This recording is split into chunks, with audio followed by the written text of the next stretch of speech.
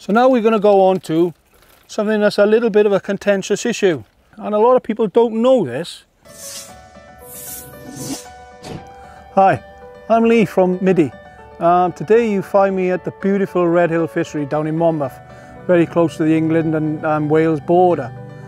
I come here a lot in the winter time, through, through to early spring. The fishing is absolutely fantastic. All the lakes are full to the brim with big F1s, big hard fighting carp and some tremendous weights are caught throughout the season. I generally only come most of the time during the winter time and then it's mostly pellet fishing for me. A lot of anglers like to fish corn with micros but I like to fish hard pellets. 4 mils, 6 mils and some micros maybe some days on when it's really hard. Some of the weights in the winter can be phenomenal. The other day, just Sunday, I was on the peg next to me. I actually won the open match with 105 pound. In that I only had four carp, so the rest was F1. So I probably had maybe 90 pound of F1s, which by any fishery standards this time of the year is absolutely fantastic fishing. You don't have to feed a lot of bait. The fishing is very technical, it's very tight. You have to be disciplined in what you're doing to get the best out of the pegs that you fish. So, rigs for today. They're very fine, very delicate rigs. Nice, nice type of fishing. This is a this is a 4x14 F1 carbon. It's all 18 mainline, quite robust because you are catching a lot of fish during the winter time. And like I say, scrubbing over the end of the landing net. This, this rig here is designed for fishing through the water. So we've got a strung out shotting patterns. So we've got number nines, just spread down the thing. First, first shot is probably a foot or more from the hook um, to an 012 hook length to a KM1 18 or a 20 with a band. And during, during the session I'll either put a 4 mil or a 6 mil pellet in there. Generally a 6 mil fishery pellet. Elastic, sounds heavy, 12 to 16, believe me it's very very forgiving, very forgiving. Very nice rig for catching through the water maybe pinging pellets, poss possibly through a pot. So on to our second rig, again, same float, same main line, just a different shotting pattern. A tighter bulk to get our bait down quite quickly. Today I moved one of the shots down right up on top of my hook length. Again, an 012 hook length with a KM1 18 or 20 just to get it down that much quicker because we have had a lot of small fish problems today. Little roach it's quite warm. It's 14 degrees in the middle of November. Unreal but this is Wales I suppose. So yeah that's that's for getting it down quite quick with a 4 mil pellet or a 6 mil pellet in the band.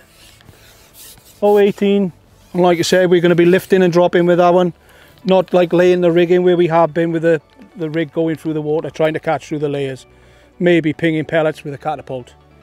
That has worked to a certain extent today, but potting and sitting and waiting gent, uh, patiently, lifting and dropping has been the key to the success today. And like I say, the shotting pattern there dictates how that rig is going to work. Moving that number nine down to on top of the hook length. Yes, I could have fished a shorter hook length, but I still believe you still have that little bit of flexibility with a whole 12 hook length we can move our shot just back up out of the way or even move this bulk up maybe spread it out slightly a bit more just to dictate what's happening in the peg. 12 to 16 elastic. Again it sounds quite heavy but trust me it really is quite soft. And the more it's used the better it gets. So now we're going to go on to something that's a little bit of a contentious issue throughout the country. A lot of anglers use back shots and these are some of the examples of back shots uh, used for conditions for controlling your float. Again 4x14 carbon. And here we have one two three back shot. This is generally used when you have a facing wind and you're trying to keep a tight line for hitting those little sharp dinks, you know, that, that F1s can be famous for. And we all have those days where they absolutely do our Swedes in because you just cannot hit the bite sometimes. Generally, most days you do start connecting with mostly most fish but this is one of the things that anglers do like I said one two three maybe number eights maybe number nines depending on what you got depending how strong the wind is that's just one example another example is there 4x14s two number eight back shot Again, this is to control the rig. Now we're, we're talking about back shots and we're talking about control. Personally, I don't use back shots. Well, I tell a lie, and a lot of people don't know this. I do use a back shot, but it's not for controlling my rig. On my float there, I have a number nine that's level with the top of the bristle. I use this back shot not to control my rig, but to set my rig. Now a lot of people don't know this. I use this in conditions like today where when we were fishing early, very early, the conditions were quite blustery. There was a heavy ripple. Um, and, and personally, if, if your float was dotted down, you wouldn't see it. So that, that, that number eight, that number eight or number nine that I use there, depending again depending on how heavy the wind is or how bad it is when it's blustery you can just move it up out of the way. And then what you have then is an extra five maybe six mil of bristle. So you can see your float then in the ripple without having to change your float without having to go to a bigger float or a bigger bristle. Um, the amount of times I've seen people fishing and they've said after the match I was catching really well and when the ripple came on I couldn't see my float. And then the sun came round and I really couldn't see it so it just got worse. But by having that shot there above your float you can just move it out of the way when the ripple comes on and you're fishing with a little bit of extra float show. When it goes flat calm like it has now and there's fish topping everywhere and it's like a glass bottle you can drop it back down to the top of the bristle like there. And what that does it just dots it back down to a dimple again.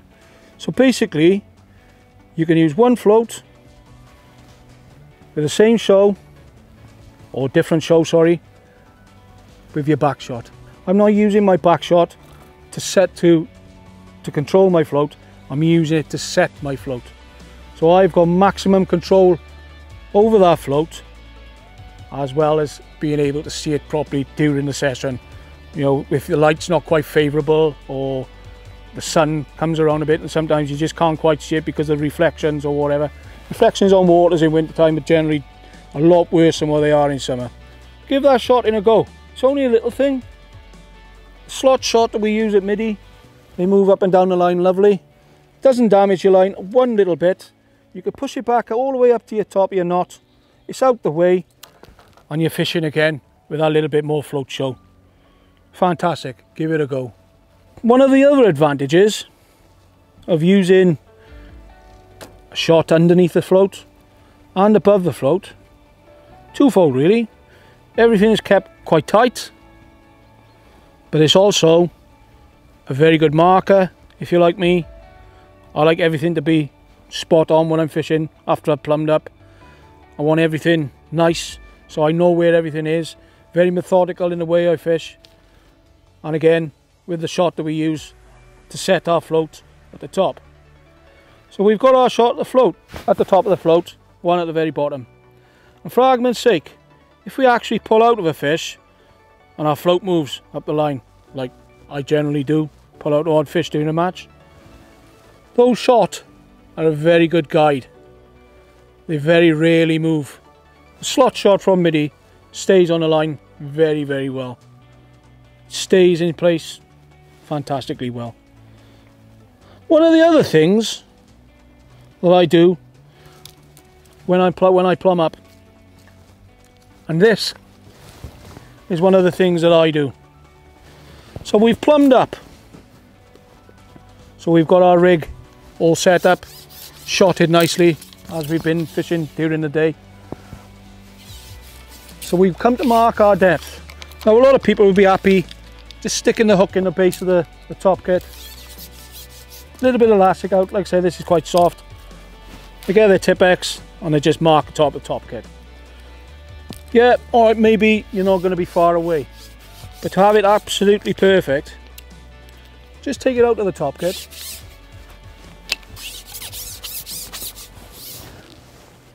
Dacron connector, just put it parallel side of your, your top kit. And just mark your float. It cannot be wrong. There is no way that could be, could be wrong because there's no tension. The elastic is not under tension, so it's not stretching the line. And the elastic can sometimes stick inside the pole if you pull it down and it's not in the same place twice.